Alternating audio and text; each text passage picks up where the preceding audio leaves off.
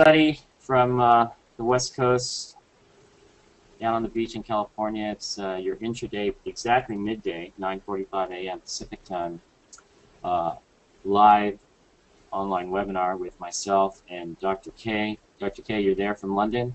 Live from London in the evening hours, eight hours ahead. That's right, 5:45 p.m.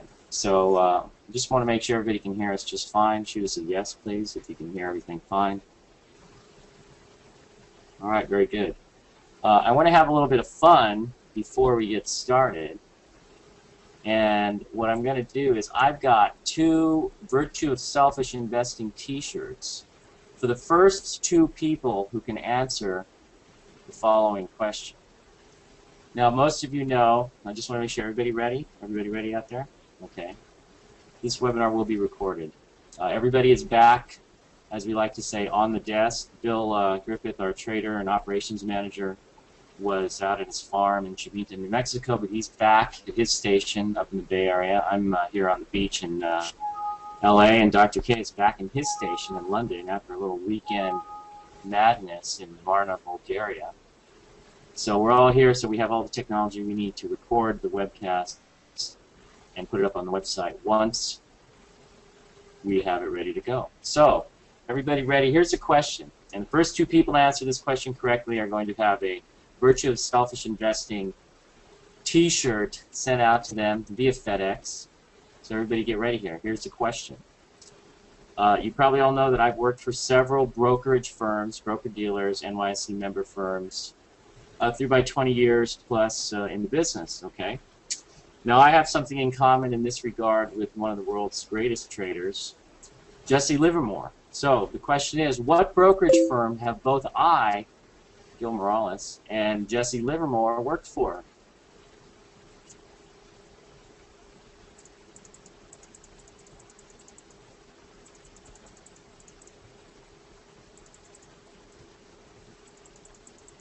All right, we've got our winners here. Uh, I'd like Michael Zuckerman is our winner. And Ron Ramsey is our second winner. I'd like you guys to email me your address and phone number so we can FedEx off a t-shirt to you. Also, tell us which size uh, you'd like. We have uh, large and extra large, and I think we even have XXL for you fatties out there. And uh, I confess, I wear an XXL. I like loose t-shirts. That's my basic trading uniform. Anyways, congratulations to our winners. Again, Michael Zuckerman and Ron Ramsey. Wasn't that fun? Okay, now if you can trade that for what's behind door number two. No, I'm just kidding. Um, anyways, let's get to the market here. So what's going on today? You know, from my perspective, and I'll let Dr. K chime in in a second here, but I'm looking at a lot of stocks, you know, on the long side, and I got to tell you, it, it kind of sucks as far as I'm concerned. You're seeing a lot of what I think is just kind of junky action in a lot of stocks. You know, there's some things acting well. Of course, everybody knows the Apple story. Uh, and of course, we get a, you know, you know, most of this move here probably was presaging the blowout numbers. But this is a late stage base. Is this going to be the final top? Big gap up, kind of an exhaustion move here at the end of this long run. They're selling into it. Volume is very heavy on Apple today and they're selling into it. So we'll see what happens. Uh, just a quick question for Dr. K. Is this a viable gap up, Dr. K? yeah, um, absolutely not. Uh, right. Standard, and uh, it just is. There's too much risk in buying this kind of gap up pattern, especially since this base is a very late stage base. Now that said, I will buy stocks off late late stage bases, but if they're extended uh, like this gap up here is, um, then I'm going to avoid it. Now, what I would do, on the other hand, is watch how Apple trades over the uh, ensuing days. And if, if, it forms an island here and then breaks out of that island, you could buy it. Uh, and you're not paying much more than if you would buy it today. Uh, my feeling too. Uh, just so you know, the correct answer was Paine Webber.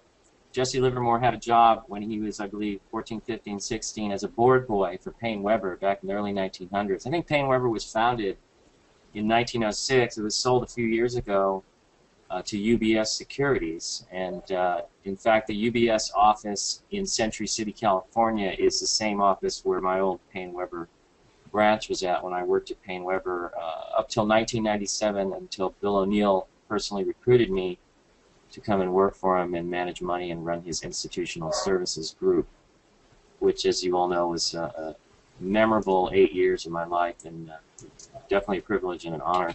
But in any case, the correct answer was Paine Webber. So we got two T-shirts going out. Uh, just send us your address and phone number, Michael Zuckerman and Ron Ramsey. Anyway, so that's a story on Apple. But you know, you got some other stocks. VMware came out and they blew out earnings supposedly, but they didn't really guide very well. Stock gaps up, and now you're kind of reversing. So a little bit cheesy there. Now, if you like to play uh, earnings roulette, you know, you've got Riverbed here. Pocket Pivot yesterday. Uh, you know, there you could say, I mean, it was objectively a pocket pivot, but it's a little bit funky here. Uh, my tendency is not to play anything going in earnings because it's just too much of earnings roulette. I'd rather have a position ahead of time. Or if you did try to play this on the pocket pivot, hopefully you scaled your position down, you know, to five or ten percent. You know, ten percent still the stock's down some. Uh, oh gosh, 30, 40 percent, I believe, right now. Let me check this. Uh, 28 percent off its high. Yeah. So it's pretty brutal. So you know, it's earnings roulette, and this is something we've talked about consistently uh, in these webinars and during, particularly during earnings season. So the bottom line is, you know, it's, a lot of these stocks look for. Here's another one, another earnings roulette loser uh, here, or Red 19 as we like to call it internally. That's kind of our job. Altera also they came out with good numbers. It's heading towards 20-day moving average. EMC, I don't know if they came out with their numbers, but I noticed it tried to break out earlier and it's failed. Uh, let's see here. What else looking? Oh, uh, Aruba Networks. You know, this is one we talked about. There's your left shoulder, head here. It's a big ugly head with a break down the right side of the head. Here's your right shoulder starting to break down through the 200-day moving average. This starts to come into play as a short sale right here with the potential for it. If you drew a line here, you know, down to here, potential for it to come down to the neckline initially. So it found support at the 200-day, bounced up into the 50-day here, and then just rolled over today, and the volume's picking up and it's dying. So my guess is it's heading for the $20 level. The question is whether you get a rally back up to 26.55. But that's a good example of a stock in a shortable position we haven't put it out as a short sale setup on the website yet. We wanted to talk about it on the webinar first, since this is a little bit more of an exclusive service, although we do have a number of members here, but it still is not uh, close to the total number of members we have on the regular website. So, so there's one for you. I noticed Wynn also came out. It was funny to listen to the CEO of Wynn yesterday slamming the Obama administration, and, and he's right. Uh, there's just too many regulations. There's too much vacillation, indecisiveness. Uh, I really think that uh, Obama is probably the worst president I've seen in my lifetime. Jimmy Carter comes in a close second, but it's not to say that Republicans are necessarily any better, because as far as I'm concerned, they're all pretty much two sides of the same coin, and uh, they've got us into this debt spending madness or you know, now they want to raise the debt ceiling. And yesterday we see a big rally when Obama talks about the Gang of Six. You know, they're starting to sound like 60s activists, um, like the Chicago Seven or something. But uh, supposedly there is a compromise, and we have to realize even if they come up with a compromise, okay, you're still looking at a 2.7 is one number I saw, 2.7% baseline spending growth, even under the Ryan plan. Okay, so there's no real uh, cutting of spending at all. It, it's they're slowing slowing the rate of growth in spending, and they count that as budget cutting. So we live in a twisted Orwellian world, and with the choppy market that we've seen, that has pretty much been the story. So where does that bring us? It brings us back to our standbys, which have been the precious metals. And we still are positive on the metals. You know, it's funny how these things gap up for five days and go nuts for five days, and then they pull back one day, and people wonder if we're concerned. Um, we're actually more concerned that they are asking us that we're concerned because we're really not, and what's the point anyways? We know if that, the, that if these things run up quickly, you're going to get sharp pullbacks, and it's pretty much standard for the precious metals. Silver is two to three times as volatile as gold. So if you own SLV, guess what? It's like owning the DGP and gold, actually more volatile. So you're going to have to be able to handle some volatility. But let's, let's look at our, our parameters that we're operating within here. On the first hand, we have a pocket pivot coming up through here. This qualifies as a pocket pivot based on the fact that gold broke out at about the same time here. So you can actually tag along uh, with gold using the SLV and then using your buy and sell signals uh, being generated by the GLD. That's a little twist. We like to operate on that basis too, although you did have a pocket pivot seven days ago right here, followed by another pocket pivot type gap up through the 50-day moving average. You're going to notice here you now have all these moving averages are turning up, the 10, the 20, the 50, the 65-day exponential, and the 200-day, which has been going up full way anyways, telling you that the long-term trend in silver and in precious metals remains intact.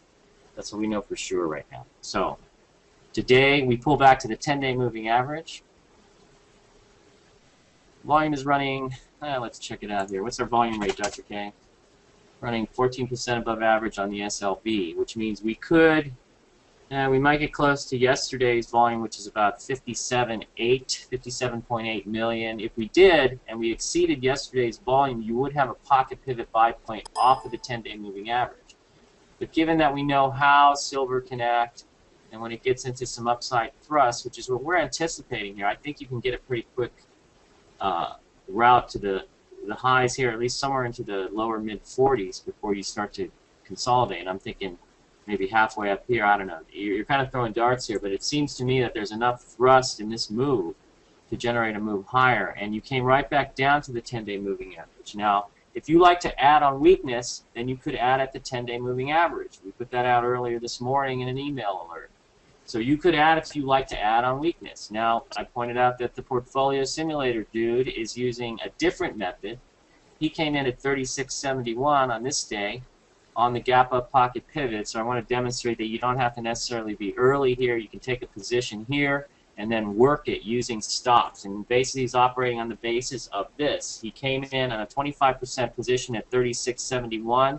If it breaks that on the downside on a pullback, he'll sell half, and then he's got to see a violation of the 50 days to sell the other half. So that's just a way to run it on autopilot. Gives you the opportunity to be right in a big way if our thesis on the precious metals turns out to be correct.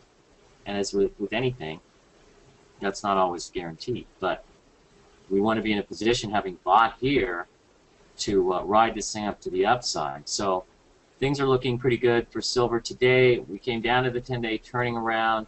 Volume is running about 14% above average at midday, and you're coming up off the 10-day moving average. So you have to use this weakness. If you like to buy on weakness, the portfolio simulator dude is going to add every 10% up. So he's waiting for it to hit 36.71 plus 3.671 points, and that gives you, I think, 40.38. So that would be his add point up here. But that's the way he's handling. He wants to have a nice cushion and then use a 10 day as your trailing stop as it comes up.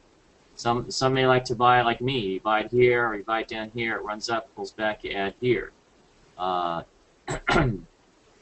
or come in real heavy off the 10 day here. That's another way to handle it. But you got to adjust your stops accordingly. So right now we have silver on the SLV holding around 38.54. It looks okay right now. The GLD is doing fine as well. Never ever got close to what I consider the breakout here is 151.86. Dr. K, what do you consider the actual breakout point from your perspective on the GLD? Well, it looks like, uh, you know, first of all, you have 51.86 as the midpoint peak. So anything above that uh, is a breakout point. You could also use the absolute high of 153.61.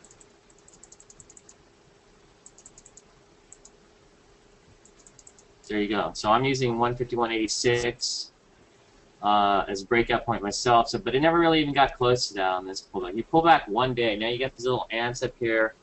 This is the EFS file that I use on eSignal. It tells you when a stock has been up 12 out of 15 days in a row or better.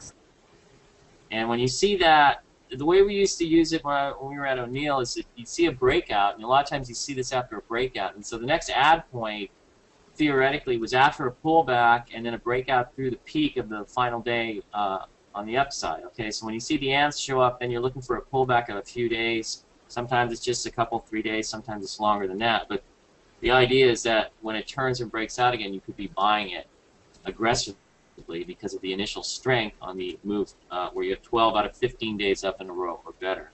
So this is still acting very powerfully. There's nothing wrong here. And it was interesting that overnight I saw a couple articles talking about how the run in gold is over with. So my guess is the run in gold won't be over with when you see articles telling you that it's over with. So we didn't see a lot of people telling uh, uh, anybody to sell silver and gold when silver was going nuts and gold was going nuts here on the upside. But of course we know what climax tops look like. And something to look at here, this is something uh, to keep in mind when you're thinking about this uh, concept of the 12 out of 15 days. You'll notice you start to see these triangles here, but the key here is here is your breakout point in silver. So I would like to see the 12 out of 15 days, those little ants, those black triangles, I want to see them show up maybe in here. And then you can be buying aggressively here. When you get too extended and these things show up, sometimes it can uh, indicate some trouble. You notice they show up here, you have a pullback of two, three days, and then boom, it really goes nuts. But when you get them like this, this is getting climactic when you start to get a string of or a cluster of these things, uh, and they're all kind of trending up. You know, it's kind of like these things are bursting to the upside. These little triangles. Uh, my kids think they look like miniature spaceships or whatever, but uh, I guess so. Little Apollo command modules. But in any case, uh, you can see how there's here it's a little less risky to be buying them on the breakout here if you're doing it here you know you have the ants and then pull back and you try to buy here this is getting climactic when you start to see them form like that but this file is available on the website under the download section it is a .efs Eddie Frank Sam EFS file that is used for e-signal charts okay so that's what we're looking at here on silver and gold everything is still a go uh, we think that regardless of whether you have a agreement uh, on the budget ceiling or the deficit ceiling rather, it's not going to matter. Silver and gold aren't going up because everybody's afraid that the U.S. is going to default. The U.S. is probably not going to default. So to me, that's kind of a red herring. It's kind of a ruse. And so when that risk is perceived to have dissipated, and I think by people who aren't that smart, frankly, uh, no offense intended if that's what you thought, but that's not the reason we think gold and silver uh, will move higher over the longer term. We still believe that fiat money printing is the order of the day, and that's going to continue. And if you raise the budget ceiling, and even if you have the radical Ryan plan, where spending growth is limited to 2.7%, which is not cutting spending, I'm sorry, then you still have the, the whole concept of uh, fiat money printing. And while the dollar may be subject to rallies, whenever something crops up in Europe and you see rallies in the dollar, whenever Portugal or Spain or Italy, uh, their insolvencies start to rear their ugly heads again, you get these jerks up in the dollar. And so we would actually be looking for the dollar to roll over. And we think that you may eventually see, at least I think, Dr. K, you can chime in here at any point if you feel like it, but you'll see the euro and the dollar and most fiat currencies eventually turn back to the downside altogether and that will be correlated to a move up sharply in silver and gold. That's the theory, that's my thesis. I'm operating on that basis right now. So as long as the technicals in silver and gold show me that it's intact, or the trends are intact, then I'm going to stay with that. So I'm trying to put myself in a position to capitalize on the potential big move while limiting downside by having clear stop out levels. Uh, Dr. K, what's your take on that? Uh, in terms of the dollar? in terms of currencies, you think that, that if the euro is dropping because of sovereign uncertainties or fears in Europe, you know, Spain, Portugal, the pigs. Uh, the pigs, yeah, I like to say it backwards. The skips, the skips. Say that one. S G I, I P S. Anyways, uh, can we have a situation where the dollar and the euro continue lower, and then this would be associated with a steepening rise in gold and silver. Could you see that occurring? I think I think that's been happening already. It's kind of a race to see who devalues faster, and so the debt currencies that are dropping. You know, the pound, and uh, you've got other European.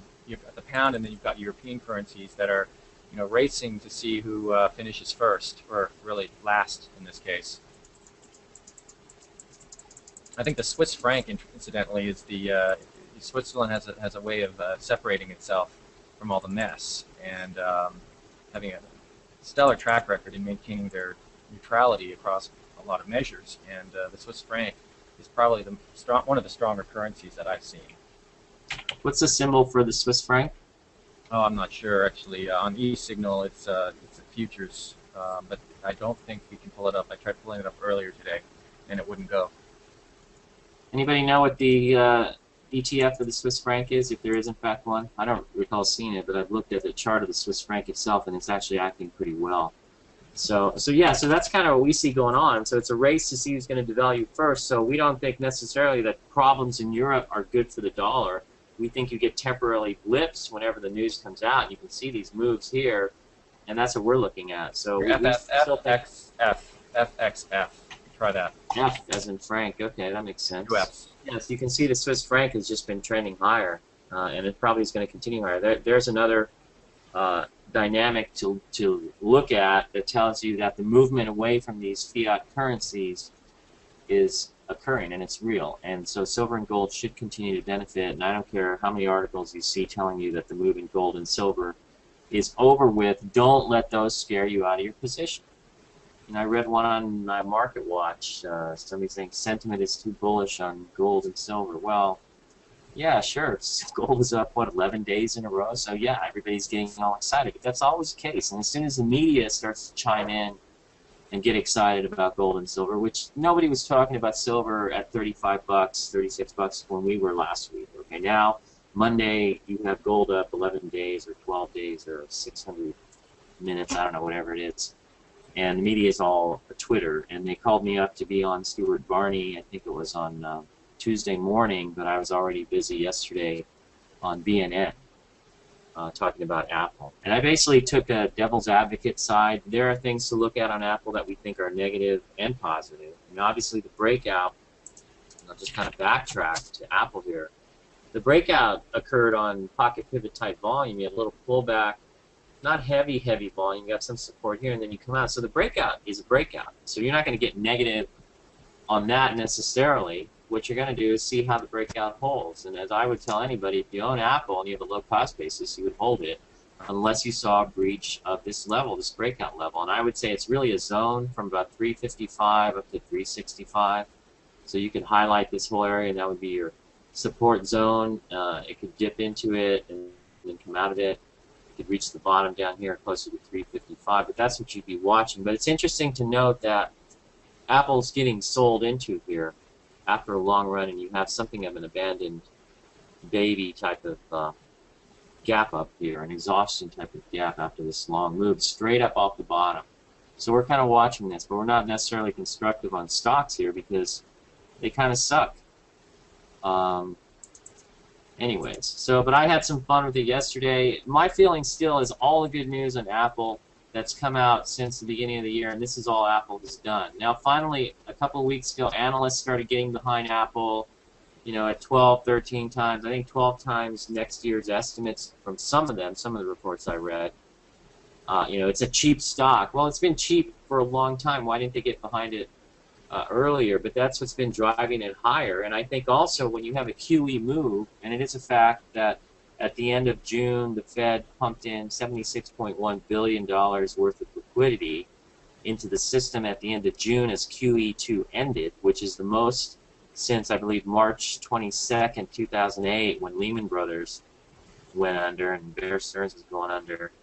Uh, that was a lot of liquidity. So I think Apple is one of those stocks that an institutional investor, and you have to remember how institutional investors think generally they run a fund or a pension fund or some other money that is run according to what they call a charter. And having worked with institutional investors at O'Neill back when I ran that group uh, from 1997 to 2005, uh, I learned a lot about how institutional investors have to think. Now you have to remember everybody is schooled in modern portfolio theory. So you come out of Harvard or Stanford or uh, Chicago School of Economics, all you know, guys with all those degrees and PhDs and whatnot. But the bottom line for them is getting their bonus, beating their bogey, which is the S&P index usually, sometimes the Russell 2000, sometimes some other index, depending on whether they're growth or value. But all they want to do is beat the market. If the market's down 20% and they're down 10, they're happy. They get a bonus. So that's kind of the world they live on, live in well, the planet they live on and the world they live in.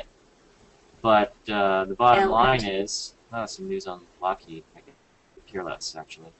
Um, but anyways, what they need to do because they have charters that say you're going to invest a certain way. Like a lot of guys we would talk to, we'd show them our way of investing, and you know you can be up 50 to 100 percent this way. We would say, and of course we were naive enough to think that they would bite on it. But the bottom line is, a lot of them would answer if I if I was up 100 percent, my board of directors would tell me that I'm taking on too much risk, and they would fire my butt. And so a lot of it is exactly that, cover your butt. So with Apple, what happens is you have a stock arguably, as I said on BNN, the Canadian financial TV network yesterday, Apple's arguably the consumer juggernaut of the new millennium. You know, they they've got it all going for them, and uh, it's selling at 12 times forward earnings. So to uh, institutional money manager, that's cheap, so he can justify, and we would call it papering their due diligence file. So you know, you got 10 analysts saying, "Oh, the stock's cheap, and we got a price target of 470, and the growth rates are this, and the margins are this, and we think they're going to sell phones in China, and some of the smaller asteroids between Earth and Mars, and, and everything is beautiful." And so they can paper their due diligence file, cover their butt, and they'll buy the stock. So when institutional money has to come into the market Stocks like Apple, particularly when they're selling at 12 times earnings, are likely to attract money flows. Okay, so you'll see these kind of crazy moves in these stocks, and I think that could have been a factor in getting this going. But it got some momentum, and it's a little extended here, and we'll just have to see what happens. So there's my pontification on Apple. So I do want to go over the market indexes here, if I can. Uh, all we've got here is you notice uh, I drew a trend line, and I did this I think last week when we were talking about the market. I drew a trend line across the tops here. Yes, we have this trend line breakout. You pull back, undercut the 50-day moving average, and this low here. So you make a low here right at the 50-day moving average on the Nasdaq Composite. You bounce, you break, you hit this declining tops trend line almost perfectly. See that? Technical analysis does work. Nobody has to think. Just draw lines it'll bounce off of one of them somewhere. But in any case, you come up, and boom, you get some volume here uh, as we're coming up. That was yesterday, looked real nice. Today you got volume coming in. What's our volume rate running at, Dr. K, on the market? Uh, let me see here. Well, I'm, I'm not going to use this other. I mean, it's saying minus minus one percent right now. Is that on investors.com? That's probably. Let me check the other source.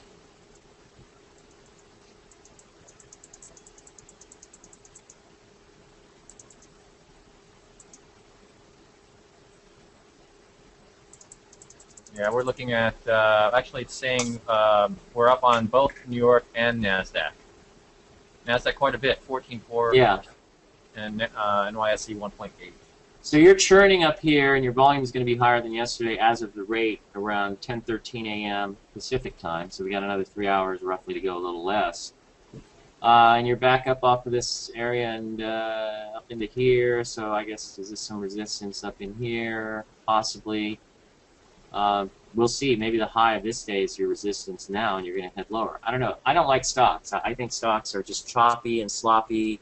And if you're going to hold something into earnings and you play earnings roulette, we have a good question. Somebody asked, how do you handle your risk going into earnings?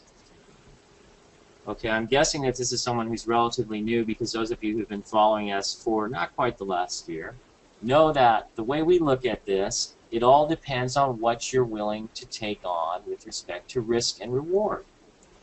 Sure, if you have a blowout earnings number like you do with Apple or even VMware, I guess, which lasted for a little while yesterday, I mean, the gap up over like 113.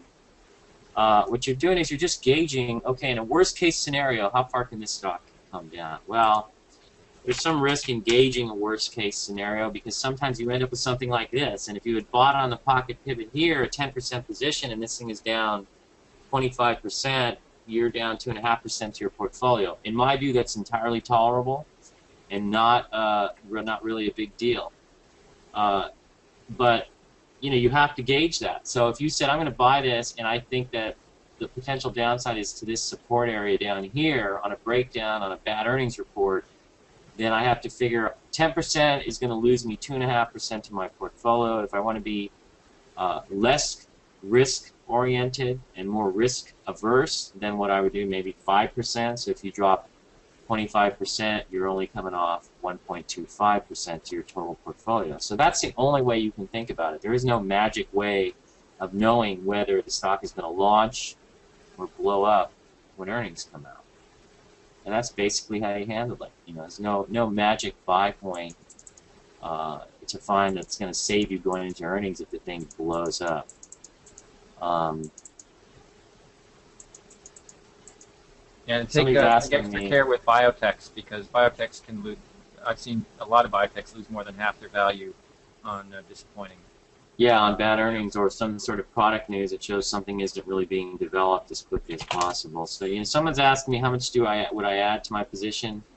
I don't know. You could add half again or double it up here. It depends on my mood. You know, uh, maybe I, I ran it up here and, and sold up here, and uh, now I'm buying the whole thing back plus another 25% or something. I don't know. You can add whatever you feel like. We have talked about a very simple pyramiding scheme, and it's the one that the portfolio simulator dude is using, which is you have your initial entry price at 36.71. That's where he came in. And the idea is he's going to add the same number of shares that he bought on the first buy at 36.71. He's going to add those when he's up 10% on that first position. So not until he's up to 40.38. 36.71 plus 10% is 3.67. Uh, we'll just use that. And so that would take you to 40.38 if you add that to 36.71. And we sent that out in the alert earlier. That's one pyramiding scheme. So there's no amount, magic amount to add. It really depends on how much risk you are willing to take on. So that's really what it boils down to. You know, and, and, and a lot of people they'll ask us. People don't really understand risk, in my view. You know, Jesse Livermore went broke twice, and he came back both times. Even though I got clobbered in 2009, I've never gone broke, but that's because I don't pile all my money into the stock market. And I maintain uh, plenty of reserves to uh, kick things back up if I need to. But you know, Jesse Livermore went broke twice, and he was And the considered third, well, the third trader. time he went broke, uh, the third time he went broke, he never recovered from that. Right, he never recovered. He's probably too old, too jaded, and I think he shot himself in the Washington hotel. I've always remembered that from the book. I don't think his reminiscences had that, but there there was a biography, and it has some pretty seedy pictures of his son being arrested, uh, and all these other kind of sordid things that I didn't. Yeah, it's called the amazing, the amazing life of Jesse Livermore. It's a good book. Yeah, The Amazing Life of Jesse Livermore. It's a great book. Uh, I would read it. The end of it's kind of depressing, but it does show if you go broke twice, third time you're out of there. Uh, he couldn't recover, so um, I'm lucky I've never gone broke. But then I don't commit if I'm we're handling a very risky strategy, uh, and just going, you know, uh, whatever anatomical part to the wall you want to put up there. Uh, you have to gauge your risk, you know. So we always say to people, people say, "Oh, how, much money should I invest in the stock market?" Hey, Dr. K, what's the quick answer to that one? How much Well, money should I invest in stock? Yeah, I mean, whatever you can afford to lose, essentially. You- exactly. And, you know, people never get that one. It's like, oh, you know, here, take my annuity money. Um, Yeah, otherwise, otherwise you're going to trade with too much emotion, and then emotion's going to screw up your trading, even if you've got a great trading strategy underway. Um, and right. interesting- on on that book um, written about Jesse Livermore, what I found most interesting about the book was that the author dissected why uh, Jesse Livermore's trading derailed as it did in the 30s. In other words, why he couldn't come back, and essentially he, he couldn't make the comeback because I believe one of his one of his kids was uh, had a death had a death threat, and I think he was estranged from one of them, and then his wife was Mhm. trying to sue him. Uh, I mean, all these personal problems crept into his life, which he which he couldn't control, and that bled into his trading. Um, and if people know know the history of Livermore, he made over a hundred million dollars in 1930 dollars shorting the market, uh, which is a phenomenal amount of money for 1930. And Yeah, he was, of course, blamed for it uh, unfairly. Um, but all this blame and the family situation really weighed on him to where he lost that huge sum of money. He actually was penniless, I think, by 1934 or 33, and uh, just couldn't make it back. And the reason he wrote wrote that book, uh, How to Trade in Stocks, that's that thin volume that was published, I think, in 37 or something, um, which is an excellent book for any trader. And the reason he wrote that was he was trying to trying to scrape together some money so he could start trading again. Right. So we fortunately won't ever run into that problem. But it's it does speak to one thing, and that is you guys need to think about this. If you're running however much money you have in the market and you get nervous about it, then you are really addressing the answer that we have for the question, how much should I put into the stock market? And our answer is unequivocally, how much can you afford to lose? Because unless you can afford to lose it all, you're always going to be afraid of losing some of it, and that's going to affect your psychology. So what you, what you need to do is scale down what you're working with to something that you're not going to be afraid of losing, okay? And if that means you're not uh, willing to lose any of it, then guess what? You're playing the wrong game. I think in that case, I'm not sure what I'd do. Remodel your home before prices start to go crazy, I guess. But that's really the bottom line. And so I would say to anybody who's on this right, webinar right now or listening to the recorded version, if you can't afford to lose all of what you're running right now, then you're probably not going to be running with clean psychology. So, um, anyways, that book is by Richard Smitten. Thanks, Ron, for that. Uh, shot himself at the Netherland Hotel right on Central Park. Ooh, I like to stay at the uh, there's a couple of hotels. The Essex House used to be uh, nice, but I don't like it anymore. But that's where we usually stay. That's on uh, Central Park, I think West. I don't know the the, the uh, side of the park closest to the financial district in Midtown. So yeah, Jesse was manic depressive too. So I myself, I'm just manic. I don't ever really get depressed. So. All right, well, let's look at some other names. LinkedIn, of course, everybody's asking about that, but we already talked about this before, and and here's the idea, is that you have the pocket pivot here, okay? So if you took a position, you probably took it somewhere around 98, 99, 96, somewhere in there, maybe even 100. But what happens is it, it runs up, and it is volatile, so what we're going to do is just use a violation of the 10-day moving average right here, the pink line. Let's make this even bigger so everybody can see it. Okay, a violation, you close below the 10-day moving average here. So what is a violation of the 10-day moving average? Well, first you have to have a close below it, and then you move below the intraday low, which I'm going to line it up there. You move below that intraday low today, you're gone. So we had a position in LinkedIn where but took it in here, and we decided we're going to try and you know see if it works, and it's a little bit sloppy here. Maybe it needs to build a handle. So we're just out and let this thing build a handle now and see if it forms out. And it's potentially, it could uh, do that. It could also break down, but you kind of let it go now because it's told you to sell it. That's all we're doing. There's nothing, uh, nothing more to think about. So, and again, if this bothers you, then guess what? You've invested too much money in the stock market. Because we'll come in, we'll take a position, we'll just let it run. You know, we don't get excited here. We don't freak out here. We don't even have any thoughts or emotions about it. We just have a stock. That's all we have. So the only thing you should have about stocks is stocks and buy points, no emotions. And so we're out. And that's the end of that story. But it's also telling us that this market is not going to be kind in terms of uh, buying individual stocks on the long side. So another one that's breaking down, okay, and uh, same thing here. We have a hard stop at 29.95. So guess what? It goes off at 29.95. Boom, we're gone. See ya. So you had a pocket pivot here, failed pocket pivot here, then you had a pocket pivot here. The stock came off of uh, the quiet period, which is I think 25 days trading 40, days, or something 40, like that. Uh, 40 calendar days. 40 calendar days, which in this case works out to about 25 trading days. It comes off of the quiet period. So all the investment banker, J.P. Morgan, Morgan Goldman, etc., Credit Suisse, they all come out and they can now put out ratings on the stocks. What they did is they put a neutral on it uh, on based on valuation. So the stock really doesn't go anywhere. That was yesterday, so it came off on some volume. That's what I was telling you is having some problems. Usually, if you have a pocket pivot up through the 10-day moving average, like we did four days ago, once you close below the 10-day, you can use that as your selling guide for a short-term selling guide. But once it violates, and guess what? When it violated, it was just about 29.95. That just happened to work out that way for us today, but that was it. We just blew the thing out. So know, we took a position here, a measured position. It cost us 1 or 2% to our portfolio. Big deal. We've got lots of silver, and we've got lots of gold. So we're happy with that, and those are acting well, and we'll just keep staying with that until it hits our stops there. And that may mean that we're going to be down 4 or 5% from where we started. Well, that's fine too. We can deal with that. It doesn't really bother us. Uh, for silver to have, the SLV could have a pocket pivot. I'm actually tracking that with an alert.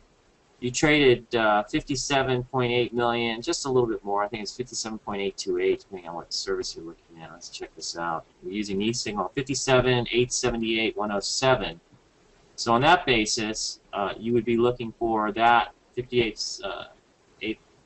Well, what, what was it again? Did I just 58, About 878. When I, so Or according to Yeah. Blonda.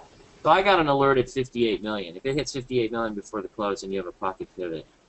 Uh, otherwise, I think it's just a nice pullback. And the thing to remember again, let's look at silver on that last run, which we played to perfection using the AGQ. But look at you break out. Whoa, hairy pullback. And I remember a lot of people were concerned here. The next day it just gaps up. It keeps going higher. Pull back a little bit here. Whoa, another hairy pullback. Gap down. Look out. Coming down here intraday, you'd be scared out. Comes back above the 10 day. Hold tight for one day. Whoa, another gap down. And this time you go to the 20 day moving average. But you hold for a couple days. Tries to scare you out. Moves higher. Ends up a little lower.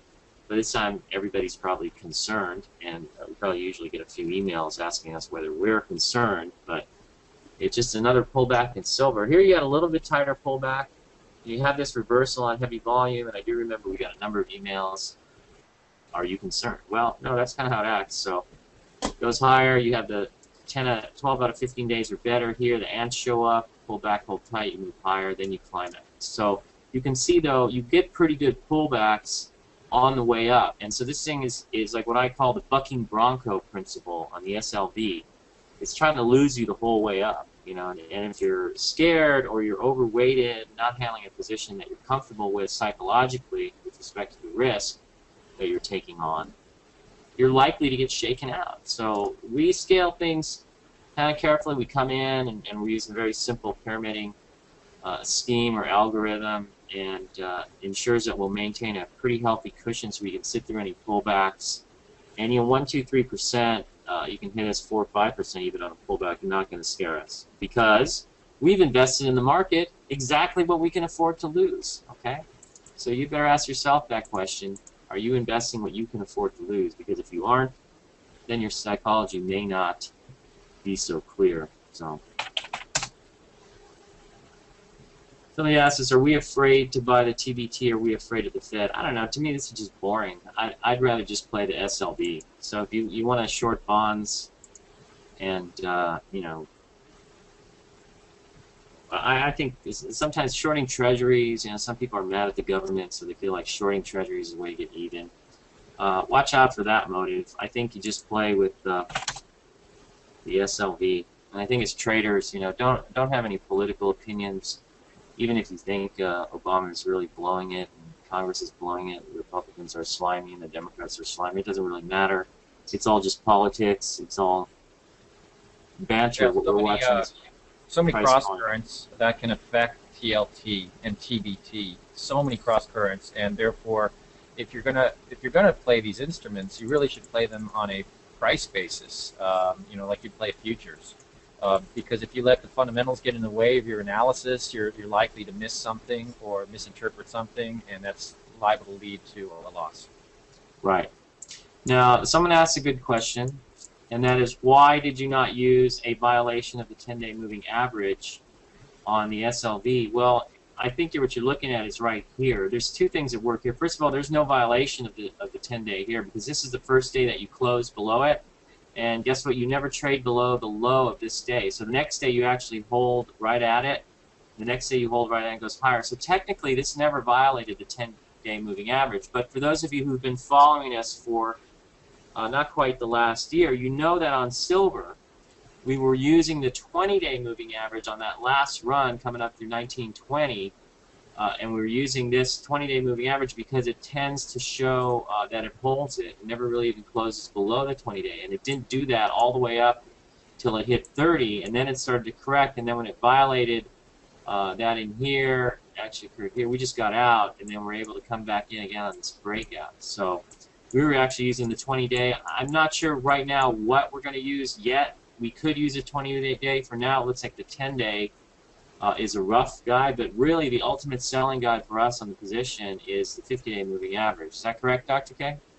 Well, you can use a 50-day, but actually, I would I would really use gold as your beacon because gold gold is the bellwether, and silver tends to follow along gold. So if gold does Yeah. something wrong, I would say let's bail out of both gold and silver.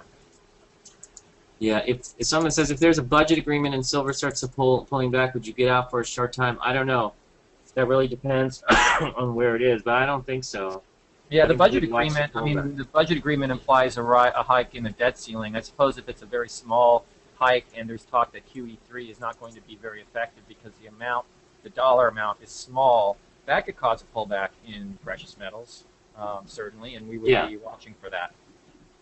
Yeah, it would depend on whether it violates certain you know lines, but but you'll see if you just watch the portfolio simulator, the follow the stock emails that go out, that'll give you some ideas what we're thinking. We're using that right now as a way to convey uh, our thoughts on the precious metals in real time. So if there's anything we think is significant, uh, we'll say it. So today I felt uh, we felt that the, the SLV holding the 10-day moving average, the GLD not really doing much at all and holding well above its 10-day moving average those were signs that uh, everything was normal. Everything looks fine. Now, somebody asked, do you use a 20-day moving average on the AGQ? No, no, no. Okay, remember the AGQ and the DGP, those are leveraged ETFs based on the SLV, which the AGQ is based on, okay, and GLD, which the DGP is based on. So DGP is GLD, and AGQ is SLV. Okay, everybody with me there? So, what you use is we don't we don't pay attention to what AGQ is doing.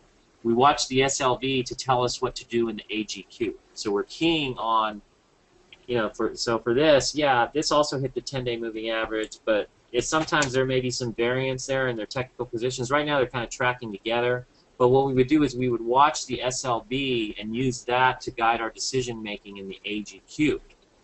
Same thing with the GLD and the DGP. We would watch the GLD and make our decisions on the DGP here based on what the GLD is doing.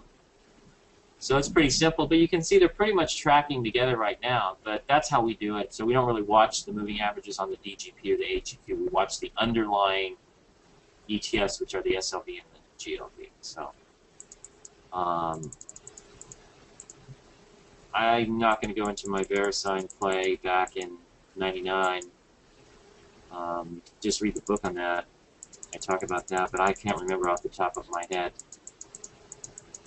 The MDM is on a buy. The market direction model is on a buy right now, and uh, there's really uh, nothing else to think about. So, and the market's choppy, but it seems like whether the market direction model is on a buy or a sell, if it's wrong for a couple of days, it almost seems like if you wait a couple more days, it'll be right. And so it's really just a choppy environment.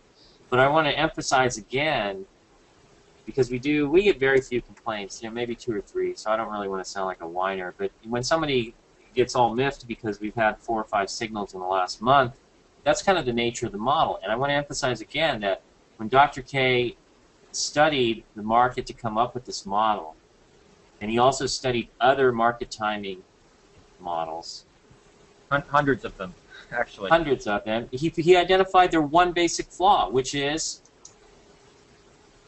Well, essentially, they They don't have any caught. fail. They don't have a fail safe. There's a there's a few flaws, but the, one of the big ones is they don't have fail safes built in. Um, in many cases, uh, in other cases, they're really good at uh, bear markets, but they lack uh, they lack the fortitude in bull markets.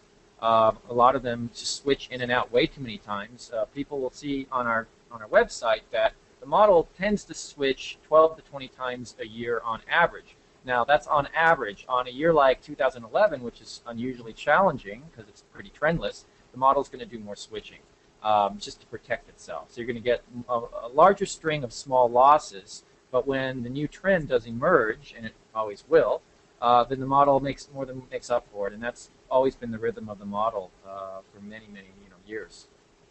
Right, and it's not discretionary. There are some rules uh, where it's basically, you know, you answer yes or no to the question. Leadership is leadership acting properly. I'm just get, throwing out general potential questions, okay, not the actual question, since that is proprietary.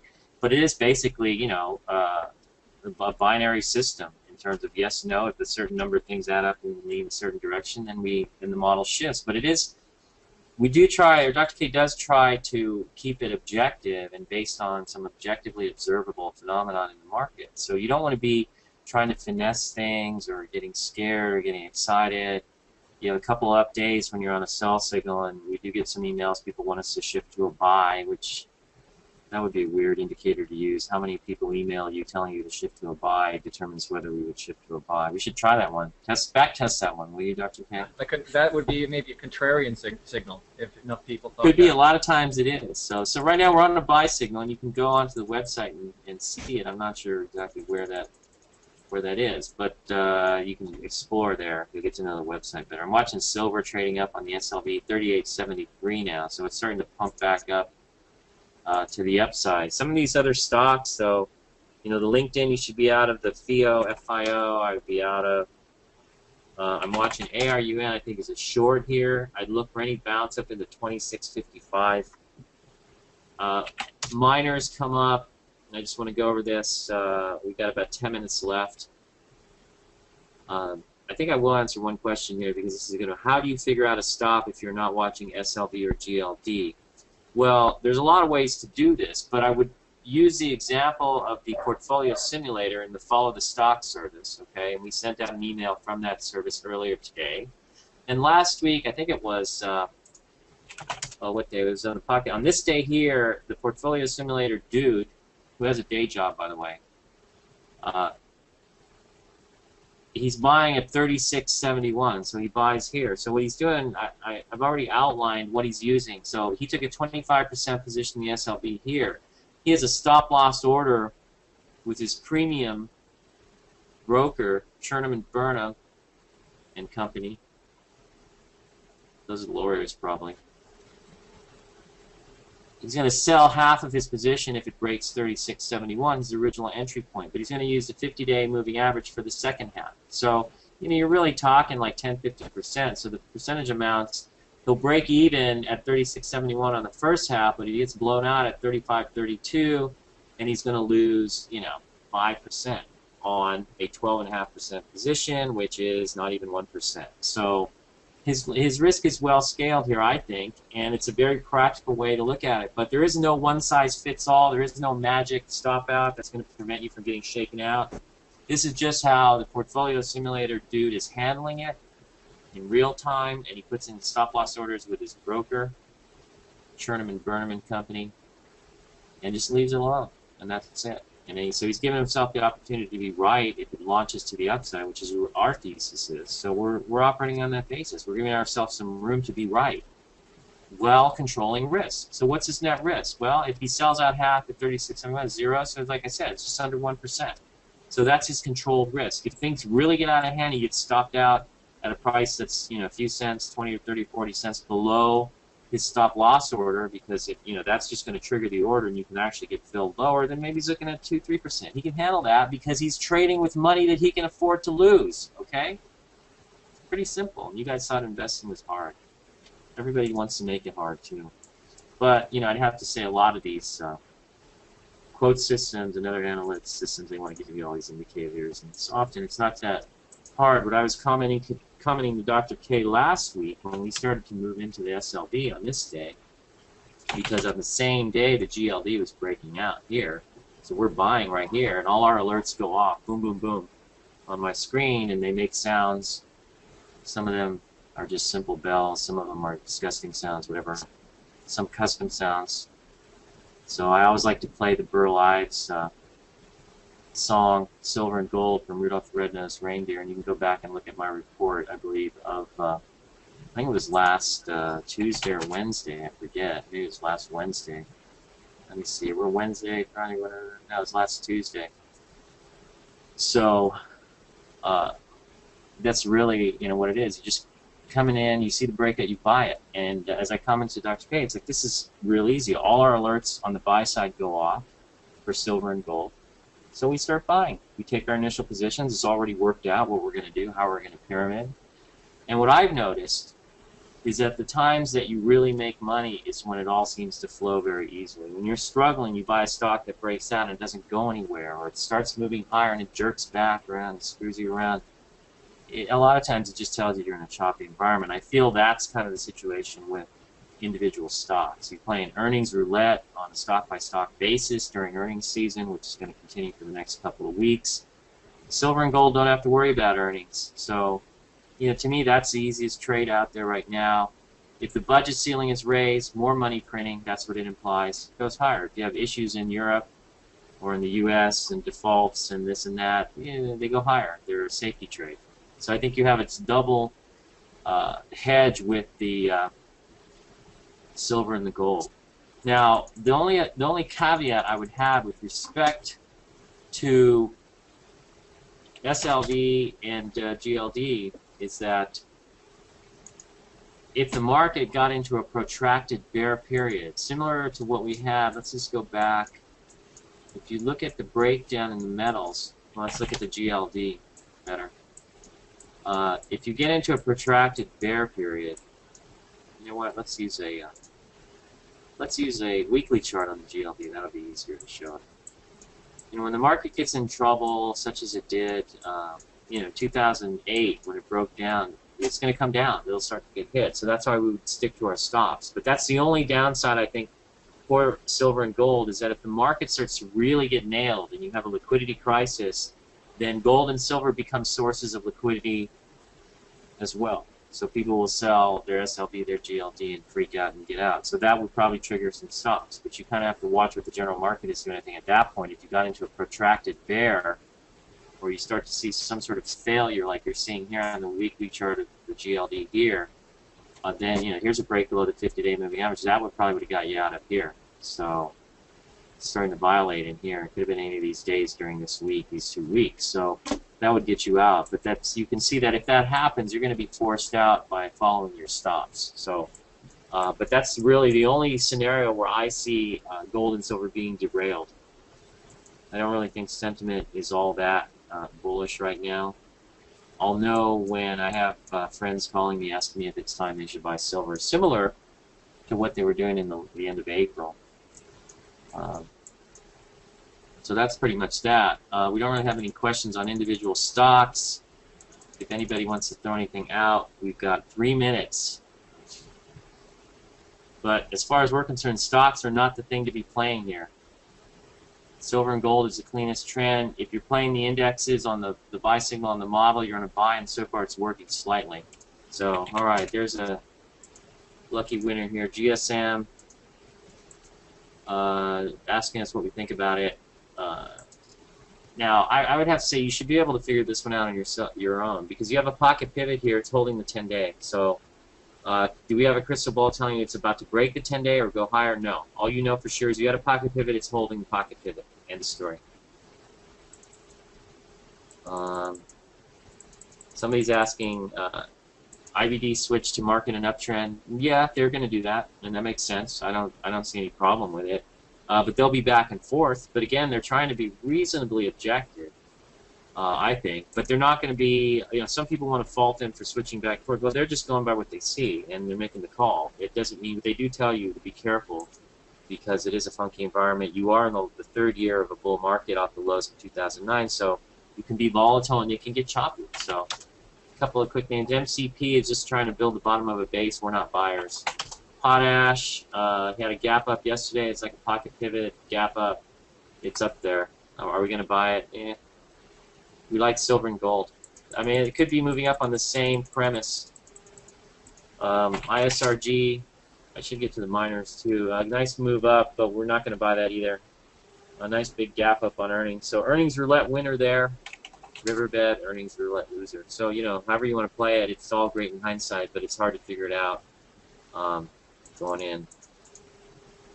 Uh, you could use, I guess you could use the CEF, the Central Fund of Canada, uh, as an alternative to silver. I, I, guess that would work. I suppose it looks, uh, that, that mainly invests in silver. I think they have some gold. It's in a vault in Canada. Supposedly it's real. Uh, I've heard a yeah, lot of. Uh, it's pretty, uh, pretty um, it looks like gold is uh, 52% and silver is 46%. So it's more yeah. heavily weighted toward gold.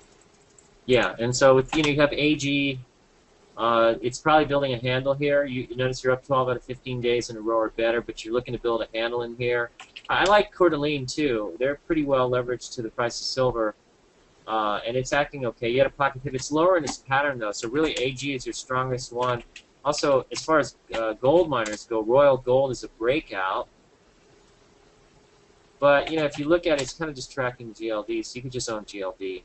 the miners are funky. They they sometimes track well, sometimes they don't. They don't hold up as well when everything breaks down. So I prefer to play uh, silver and gold myself. You know, if you like AG and you think it's exciting uh, because it's got a cool name, First Majestic, Majestic Silver, and it was a recent IPO or recently started trading on the NYSE back, uh, well, I guess last May it was, and had a big move, climactic move here, here actually, here. Wait, where was that? Here it was. Yeah, there it is. I knew it was in here somewhere. Kind of climactic move. You see the ant there shows up, and then you correct, and now you're probably building a handle. I, I like this story. I think it's one of the better silver plays, but you know, if you want the juice of the stock, and just buy the AGQ and track it to the SLV. So there's a lot of different ways to skin a cat here. We prefer to keep it simple. We like the SLV, and we like the uh, AGQ. Uh, let's say uh, Dr. K has music to have his trading balanced. How about you, Gil? What do you do for fun? Well, I play guitar, and I've been playing guitar since I was 16. And I've played in several bands that I continue to play, probably probably every day. When Dr. K's in town, sometimes we jam together. But mostly, I like to go up to uh, Beverly Hills and visit Dr. K's dad, Del Kacher, and play guitar, get a lesson from him. Sometimes even get a lesson from him over the phone. But he's the only guy I've ever uh, had as my teacher. But I'm definitely very passionate about uh, the guitar and playing the guitar. It's a great release. Uh, sometimes you have a bad day in the market and you might feel a little bit frustrated, and it happens. You know, I feel frustrated. I'm human, even though I avoid bringing emotion into my trading. I do get frustrated, and there's nothing better than pulling out one of my 30 electric guitars and uh, hooking up to my big Marshall stack and turning it up to full blast and just trying to break the windows in the house. That works very well for me, so I enjoy that. Uh, I also am an avid chess player. I'm a Class B rated player with the United States Chess Federation. Last tournament I played in was two years ago. It was a five round Swiss tournament, uh, and in my class I won the tournament. So I won $48, and that's I got to tell you that was some of probably the most satisfying $48 I've ever won in my life. Uh, what else? I like to grow chili peppers, and I have a prolific garden of chilies going right now, and I make my own salsa. Uh, and I have two kids, and anybody who has kids will tell you that's enough of a diversion to keep your mind off of just about anything except raising your kids. So, so yeah, Dr. K is into a lot of other things too, you know. Uh, so, I would say we're pretty well rounded, and the two of us together make a big round figure eight, I guess. Uh, anyways, that's really all the time we have. Pardon me, Dr. K. A Mobius strip. Yeah, we're a Mobius strip of diversity.